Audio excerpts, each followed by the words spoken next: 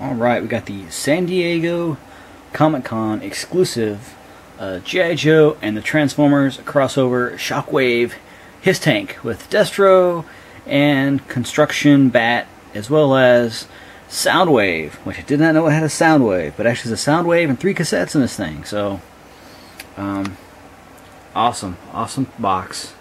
Um, probably one of the best things about this packaging is the fact that it's the same size as the one from last year. So I was kind of worried about that. I like all of my you know packaging to be fairly uniform, you know, for dis display and packing purposes.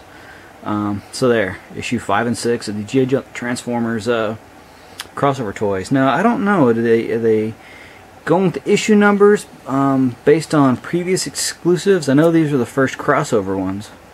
I'm pretty sure. So I don't know what the first four are. So if you know what the first four are, definitely uh, send me an email or post a comment or something. Um, but yeah, these guys are pretty pretty awesome. Um, can't get the whole box in the frame. Let me get this Starscream out of the way. Um, just like last year, it has like the retro um, box art, and it shows the three um, figures, which you know, loosely I call him a figure. Um, so you got Destro, which I'm not sure what molds they used on him. He could be uh, an all-new mold. Got a briefcase full of money. Now you got Soundwave with three Minicon deployers, which pretty sure that's a new mold.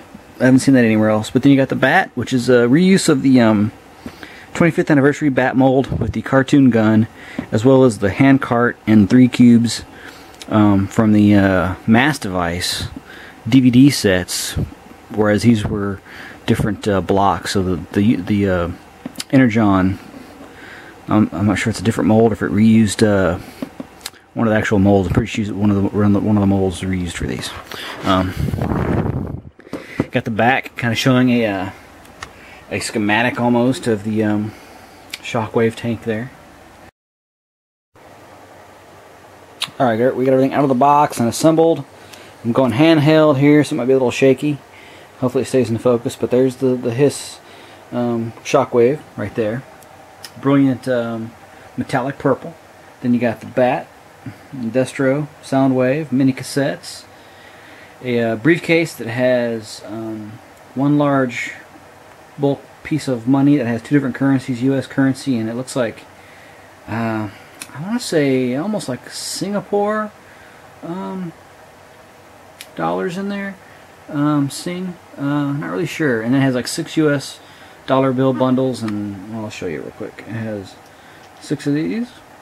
Ah, and now it's gone. Gone forever. Lost in the carpet of time. Okay.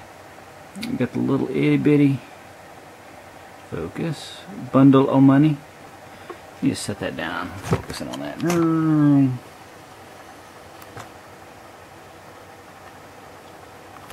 If it will. Anyway, teeny tiny bundles of money. You got the US and the other one. And the uh, auto dust. And uh, yeah. So anyway, so you get 12 bundles of money plus the uh, a piece that goes on the bottom. Let me just get a quick overview. Um, you got the file cards for the two G.I. Joes. You got the, um, not necessarily a tech spec, but essentially a file card for Shockwave. So you're missing one for Soundwave, which I think they gave you Megatrons with the uh, Starscream, and he was only in gun form. So that's kind of disappointing. But Alright, so let's go through these guys one by one real quick. First off, we'll look at the accessories. Um, got the uh, the Energon cart, which is based on the uh, I think it was the Mass Device pieces, and they took the uh, the yellow element and did that three times in white and stuck it inside of a pink cube. Each cube can actually come apart. So you can have empty ones, I guess. Um, so that's kind of neat. So you got the cart. Cool. Then you got the um, bat, which he is a exact copy, mold-wise, of the um, 25th anniversary bat. Of course, the only difference being the actual colors used. Slide them back a bit. Um, Another thing that they gave um, they gave him a uh, cartoon um, uh, rifle right there in black. And then, um, yeah, pretty cool. He does have his other hand. It's in his backpack for storage. Um, it's got the uh, hideous green and purple, which I wasn't too big of a fan of, of the color scheme. But man, I just love the bat bat uh, mold, and I really wanted this guy just because it's such a crazy paint scheme, I guess. Um, so that's pretty cool. Um, so he's got everything you'd expect a bat to have, all the interchangeable hands and all that. Put him aside with his buddy. Now, with the Destro, I don't have uh, the molds that they used with this guy. It looks like the body armor is off the G.I. Joe Resolute Trooper. It looks like it's the, um, not the 25th, but probably the Pursuit of Cobra um, head. The body, I'm not really sure. I believe the knees and possibly, uh, I think the arm, I think the arms and legs might even be from one of the um, paratrooper guys, and then I think the knee pads might be new. I have to double check on that. But he does have the gun that came with um, Techno Viper, and he's got this other small pistol that I, I don't think I've seen before. Um, so it's kind of interesting. He's got a really cool Decepticon logo on his chest. It's a dark purple and uh, a darker purple and black with silver um, weathering on it. Nice chrome head there. So that's a pretty cool sculpt. Look at that real quick for just a second. Alright, and then you got Soundwave. Pretty cool. You know, it looks just like the G1 toy.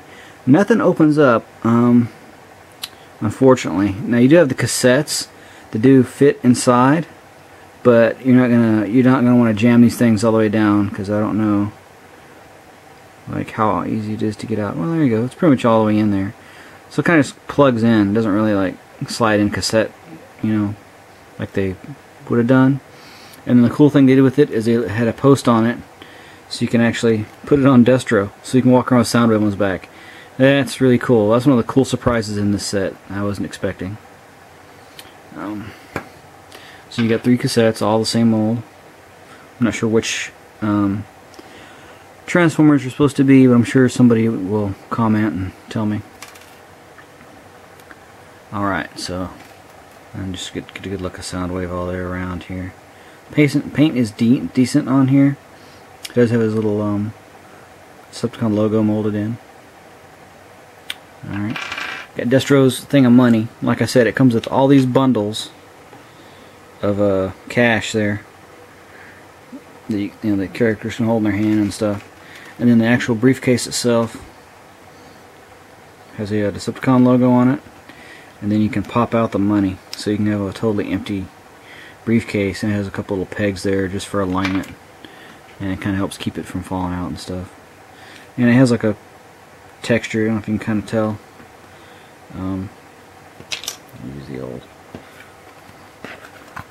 trick here um, see it has like a wavy texture to it so it's not just a flat block with printing on it they actually went through a little bit of trouble uh, to make this I'm not going to go ahead and close it because it'll totally turn that white and I want to leave it flat just to have this guy stored. And then of course you got the two file cards. Leave that up there so you can read through it real quick. It has Shockwave mentioned in there a couple of times. So that's pretty cool. Kind of gives you a backstory on the on the uh, Shockwave Hiss tank. You've got the Cobra Android Tro Trooper, the uh, they call it the Constructicon bat. Um, it's actually an alien upgrade. Um, you can read the whole thing there. And then you got the Shockwave file card. Alright, Military Commander and Strategist. And he's actually one of my favorite Transformers.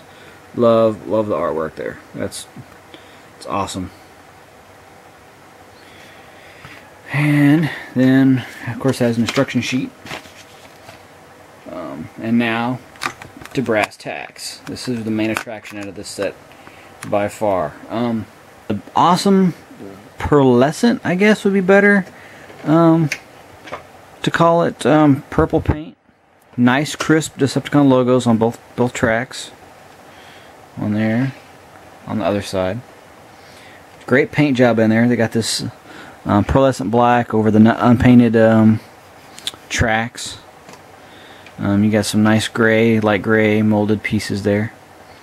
Another Decepticon logo on the front, and they're really crisp. Um, this one's not perfect due to the fact that it does go down into those dips, but it's pretty good.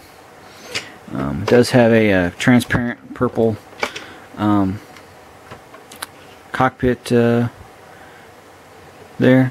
Um, would have liked to seen it this painted, that pearlescent, but uh, I'm sure they did that for cost-saving measures. And they use the uh, translucent purple again on the uh, Gatling guns, and also on the uh, on the missile. We'll, we'll, get to that in a minute. Um, it's identical to the um, to the retaliation hiss, um, with the only difference being the paint job, of course, and you get this newly sculpted um, shockwave cannon. But other than that, it's the same same exact mold. Um, now they did make it to where let's angle this up a little bit. They did make it to where you can still uh, pop that off. You can still um, use the cannon. This just snaps in there. It's got a little stub. Goes inside the cannon. But then you can actually load it with the uh, translucent missile and um, fire that thing halfway across the room. Um, yeah, it does have a an articulated body. It does tilt up, articulated cannon on there. These can click up and down. They're also interchangeable with the other ports that are on there. Which for me, I think I kind of dig that a little bit better. Either either just totally without the um, side Gatling guns. Maybe even underslung. Let's try that underslung. Let's see what that looks like. See, you get four of those on there. Totally got you an anti-aircraft shockwave. Um, yeah, there we go. I like that a lot better. Cool. Um, Destro can stand in the turret, just like um, the figures can could uh, get in the um, regular hiss. So yeah, this thing's freaking awesome. You got basically his head replicated there um, on the front piece, which I was kind of wondering if this wasn't a different sculpt than the um, retaliation hiss, but nope, they're exactly the same all the way through. That's a good reuse of the mold. I was super thrilled with the Starscream from last year and super thrilled with this. Um, at a price of 70 bucks, you get an exclusive vehicle with an awesome paint job. You get two actual action figures plus a buttload of accessories. However, the only complaint I'm going to have is there wasn't a file card for Shockwave or for Soundwave rather. They could give him given him a little, you know, a little card or something. And I really would have liked to have seen a a um, pistol version of Shockwave for Destro to hold. So I was kind of disappointed in that. But, everything considered, definitely 10 out of 10. Um, and just to compare him with the G1 self there, definitely see all the, uh, see how they did the logos are fairly similar. Um, of course, his cannon is pretty much spot on. They didn't do clear purple inside here, the same way they did in that one. Would have been cool if they could have had a feature uh, like that, electronic feature in there, but uh, oh well. That's kind of cool. So, definitely, without a doubt, for me anyway, 10 out of 10 Energon cubes for the San Diego Comic Con exclusive G.I. Joe Transformers crossover Shockwave Hiss Tank with Destro Bat Soundwave uh, and all those other accessories.